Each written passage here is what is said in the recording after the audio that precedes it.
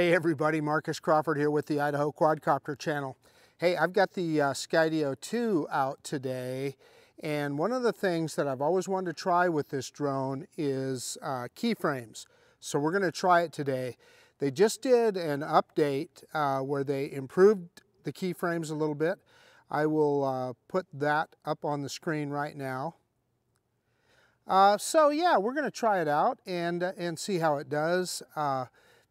What keyframes is, is think of it as waypoints or yeah, even a little more than. So what you do is you set points in space with the drone and it will fly those points and uh, do it in a repeatable way and a cinematic way. And it's a very intuitive thing. Usually when I do this kind of stuff, I do it the first time on screen with you guys so that you see me stumble through it and often I figure, hey, if I make a mistake, you can avoid the mistake that I made or whatever.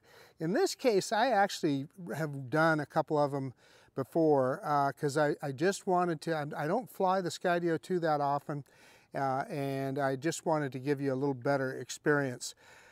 Uh, so yeah, the, another word about the Skydio 2. This is a drone that, uh, believe it or not, I purchased this drone in I believe it was November of 2019. I think they introduced it in October.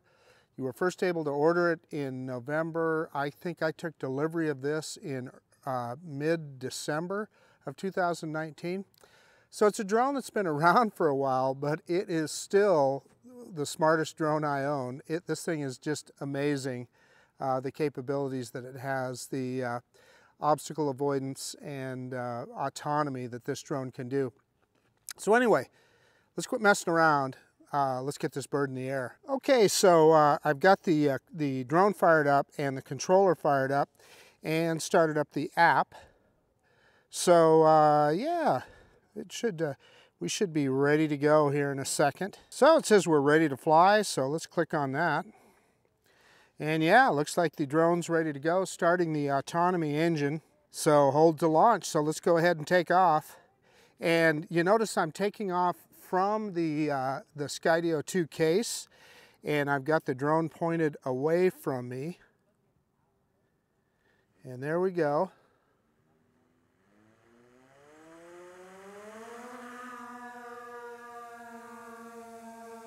So there we go. Uh, the drones, one of the things I like about the Skydio 2 is it automatically starts recording when you take off.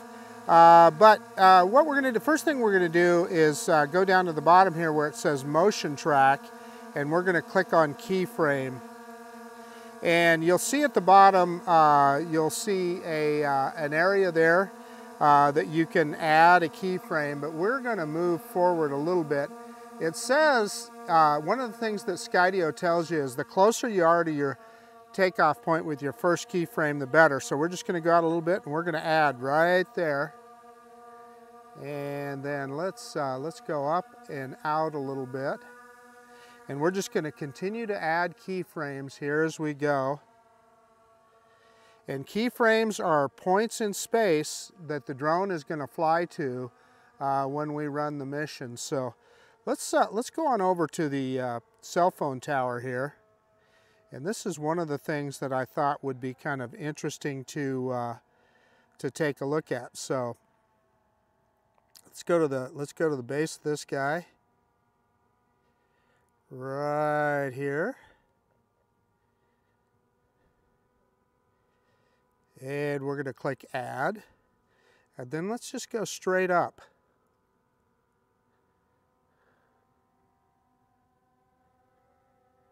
Partway up, let's add another one.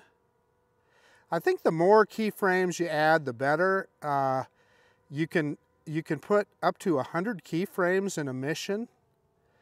So, uh, so let's go a little higher and add.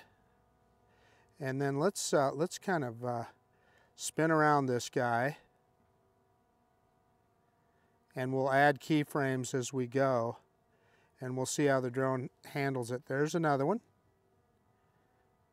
So I guess what I'm kind of saying here is if you were uh, had a, had a business, an inspection business, keyframes are something you could use to help automate that process. Although I suspect that uh, uh, Skydio might have other software for that, but uh, yeah, let's go up a little bit higher and let's go ahead and rotate around. We're going to go all the way around this guy. And that's me manually rotating around here. I'm going to back it off just a little. And let's add one right there. And you can see our track here as we go. On the screen recording there, you can see our track of the, of the keyframes that we're adding as we go. Yeah, let's go in. Yeah, we kind of pulled out there a little bit. That's okay. We'll, we'll get in a little closer on the next one. So let's go ahead and move around. And, and uh, we'll, uh, we'll get another one here. And I'm going to get a little closer on this one. And we're going to click add. And one more. So like I said, we're going to do a complete rotation around this guy. We're almost complete. There's one more. Okay, now let's raise up a little bit and drop that camera down and add another one. Go up a little higher. And I'm looking at the drone. The drone is higher above the uh, the tower here than you think. I, you know, I've got eyes on it. It looks like it's pretty close, but trust me, it's it's a ways up there. So let's add a keyframe right there. And what I'm interested to see is if the drone will then uh, will it then point the camera down when we get up this high? Sorry, I'm kind of focusing on two things. I notice when you point the camera down there, you can see where it's going to land, which is kind of cool, huh? Now let's pick that camera back up. And drop down.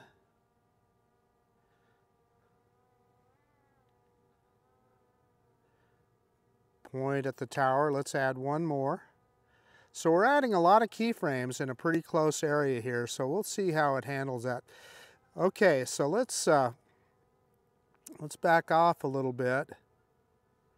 Pick that camera back up, and let's go out here a ways. Let's go. Uh, let's go out over the uh, uh Discovery School here, off in the distance. Added one there.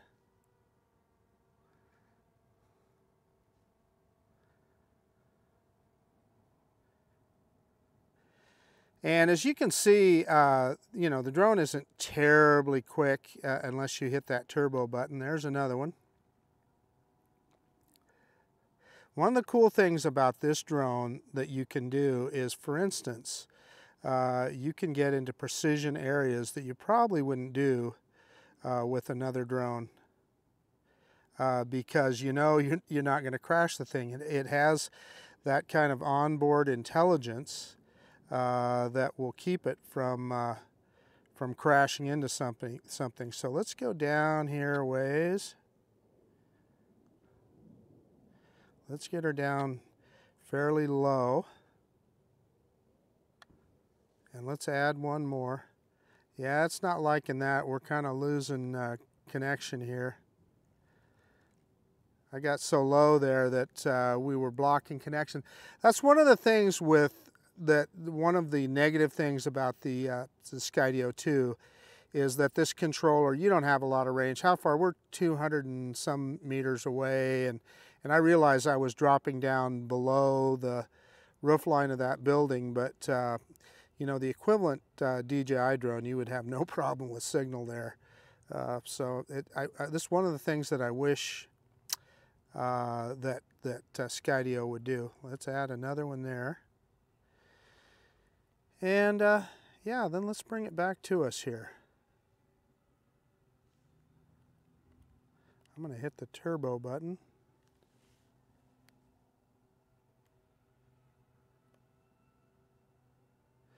That really speeds it up. Check that out.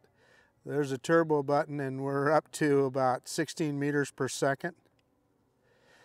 So let's go, let's go around these, uh, let's add another keyframe there. And then let's, uh, let's go down around these uh, portable classrooms down here. Let's drop some altitude. And again, the cool thing about this drone is, is that it, uh, uh, you know, you're not worried about, uh, about it hitting anything because it's not going to. It's got that uh, onboard intelligence. Let's add another one right there. And you know, we're not very high off the ground. Yeah, we're one meter off the ground here. Uh, this is so cool. You know, what other drone would you do this with?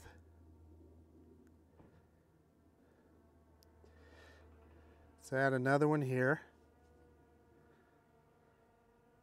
And I'm wondering, that might confuse it a little bit. I've, I've, I've seen that before with this drone, that it can, if you don't specify exactly, let's go up just a little. Let's see if we can get between these two classrooms here. And we'll add another one.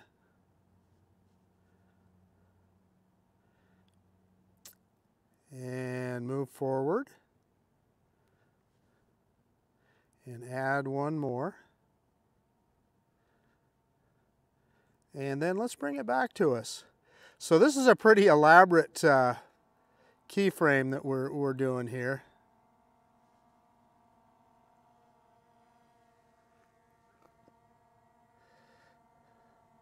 And just for the fun of it, let's uh, Add one right in front of the light pole there. And I'm just gonna go full stick forward and you'll see the drone will go around that light pole. and let's add one right here.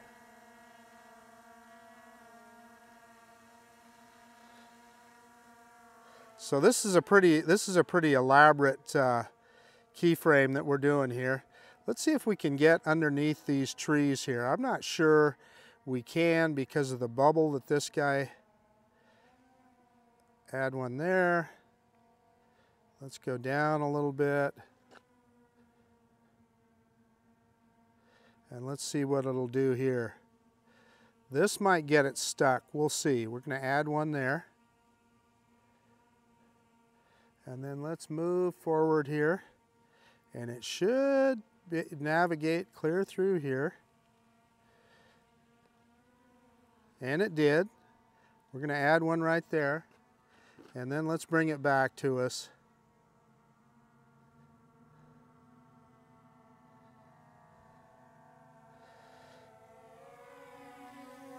Let's get up in the air. And that'll be our last keyframe. Okie dokie, so I'm going to click done. Yep, okay. Oh shoot, I, I clicked done and, and it's heading it's heading to that keyframe that I just highlighted. So as you can see, uh, that was unintentional. So what we want to do is we want to start at the first keyframe. So what I did there when I was clicking done, I didn't think it took it and I clicked it again and it headed to that one. So, but let's click on the first one down here. Well, that's the second one. There we got the first one. So it's coming back to us. And as soon as it gets here, and we're down, yeah, we're down to 46% battery, so we better get it in gear here. Uh, and we will start the mission. And there it stopped at its first keyframe. And, uh, and let's hit start. And there goes the drone. And uh, you can see it's just following that, uh, that purple line and I can increase the speed here on the slider. And then we'll slow it down as we go up the, uh, I want it to slow down as, it, as we go up the uh, by the tower itself, by the head of the uh, tower. And let's see how it does. It's hitting those keyframes just perfectly. just like we, uh, we flew when we, when we set the keyframes. So the one that I'm going to be interested in is where we go over the top of it. Yeah, and I can see the camera. Yeah, it's, it, it kind of went over the top of it there. Yeah, that wasn't quite how we had set it up, but it's, it's going directly from keyframe to keyframe. Yeah. That's so kind of interesting. You can see the limitations there. So let's go ahead and speed it up as we're heading this way.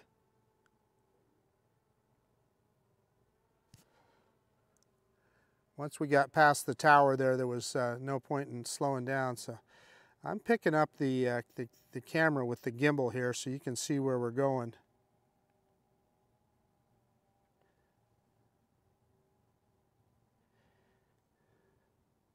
And let's see how low it'll get here. Yeah, it's getting right down as low as we were. Yeah, so it's kind of backing around and backing out of, uh, of where we were at there.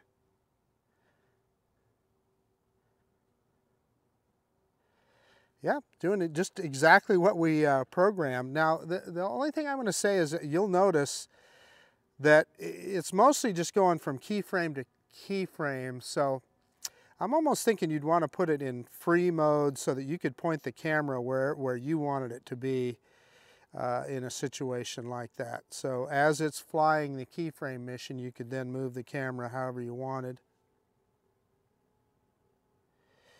And through another one. So let's see how it does as it gets down to these, uh, down there to the uh, portable classrooms here.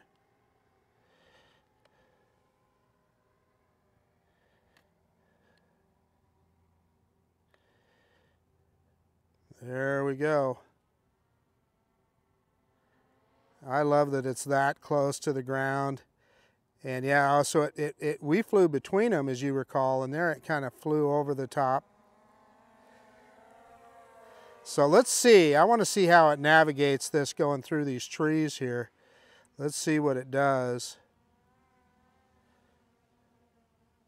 Yeah, perfectly. Yeah, I mean, it did that perfectly.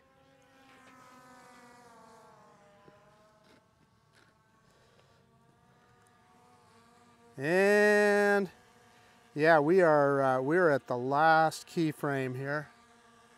Okay, so we are down to 28% uh, battery. I'm going to get I'm going to go into uh, uh, motion track and let's manually fly the drone out here a ways and uh, let's hit return to home and see if it'll find the uh, find the case here. So I'm going to hit uh, the home button on the app and launch point is where we want to come back to. And it took that command immediately. And let's see if it'll hit the case here. If it sees the case, it should tilt the camera down. And I'm watching it come down here and boy does it, it comes down fast. Yeah, I don't know if it's going to see the case or not. We'll see. Yeah, let's uh, let's drop that camera down. It's not. I forgot, this guy doesn't land. You actually have to tell it to land. I forgot about that. So uh, let's move it over. I, I dropped the camera down. Let's move it over the top, over where it has a chance of seeing the case and it should uh, it should land right on top of the case. So there we go. So I'm going to click land on the uh, on the uh, app. Didn't hold it down long enough. There we go. Yeah, and it spotted the case there. So what we should see is the drone will land smack dab on the uh, Skydio 2 case. Pretty trick stuff. I can see maybe I should have folded that uh, And look at that, it just lands spot on the case there. Uh, what I was gonna say is I probably should have folded that shoulder strap up. So, uh, okay. Let me get everything shut down and we'll do a quick conclusion. Hey, okay, so that's keyframes with the Skydio 2. Uh, that is just a phenomenal little piece of autonomy with this drone and it never ceases to amaze me. And you saw the way the drone uh, threads the needles uh, through some of these places, especially when we went through the trees over here. Uh, it just found its way through uh, no problem. And you know around the light pole and and all that stuff it's just a drone that you don't worry about uh, pushing the throttle forward on it because it's not going to run into anything. Uh, and it's just a very capable product. Now you know if we're talking again this thing came out in 2019 of course now they have I think they call it the Skydio 2 Plus I believe that's got antennas and gets a little better uh, reception than the original Skydio 2, but other than that, they're pretty much identical. I think the new one has uh, a bigger battery capacity as well. Uh, and I'm going to say for sure that, you know, while this camera looked really good in 2019, and it still looks good, don't get me wrong, but it's been upstaged by some of the newer products from both DJI and Autel for sure. Uh, however, I, I, I, still think it looks really good, and it's got that uh, GoPro style of color saturation that I think is particularly popular with action sports. And to be honest, that's what this drone is for. It's uh, for tracking and action sports. And you, you, can see there are, I can see how this keyframe uh, would be, uh, ability would be good if you're doing some real estate photography and stuff. Or, for instance, if, if, you're just trying to get a repeatable flight path someplace, uh, you, can, you can save those keyframes and, and do it over and over again. I, as a matter of fact, I think Billy Kyle said, for instance, if you are uh, trying to track progress on construction or something, you could set up a keyframe around that construction site and you could just have the drone repeat it over and over again and you could do it over a period of time and, and watch that uh, construction site grow. And then also you saw what we did with the cell phone tower over there. I, I suspect there's some applications in that regard too, doing inspections and so forth, uh, so that you can repeat your inspection over and over again. In other words, every time you come back to that bridge or that tower or whatever it is, you can have it fly the exact same flight path that you did uh, uh the previous time. Uh, so anyway, I just, uh, I'm still really enjoying this drone and uh, I don't fly it enough. I'm gonna try and get this guy out a little bit more. Uh, I guess that's about it. This is Marcus Crawford with the Idaho Quadcopter channel out. And if you like this kind of content, uh, please consider subscribing to my channel. Oh yeah, shout out to my friends at the Drone Seekers. Uh, if you haven't checked out the Drone Seekers channel, you need to check it out. We do a, a, live show uh, every Sunday. It would be at uh, 3 p.m. Eastern Time, uh, noon Pacific Time. Uh, and then in, in Europe, let's if you're in the UK, let's see, it would be at uh, 8 p.m. And for my friends in southern Spain, I believe it's at 9 p.m. Hey, okay, I'm going to throw some bonus footage in on the end of this video that I took while I was out at uh, Kleiner Park. It was another keyframe mission that I did out there going between trees and so forth. So uh, uh, you can stick around if you want to see that. Uh, but anyway, thank you for taking the time to uh, look at this video. And of course, we'll see you on the next one. Bye now.